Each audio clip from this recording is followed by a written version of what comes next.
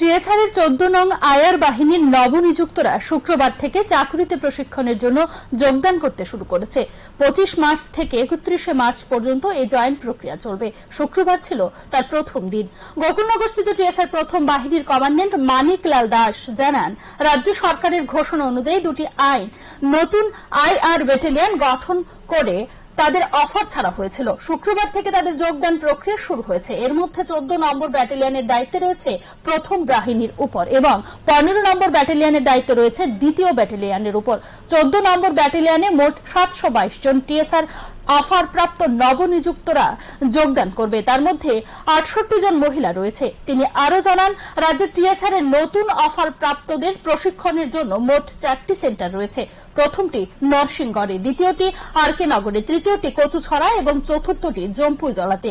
এই চারটি সেন্টারে তাদের বন্টন করে পাঠানো হবে। আগামী এক বছর প্রশিক্ষণ প্রদান করা হবে তাদের।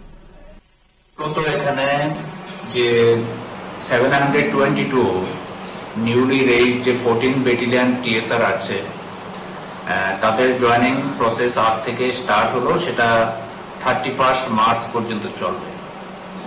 স্যার মানে আজকে গোকুলনগর টিএসআর ক্যাম্পে মূলত কোন ব্যাটালিয়নের তারা চোদ্দ নম্বর ব্যাটালিয়ান কতজন স্যার অ্যামাউন্ট টোটাল আমাদের টোটাল জয়েন করার কথা seven hundred twenty two sir TSR প্রথমবারের মতো মেয়েদের রিক্রুট করা হচ্ছে।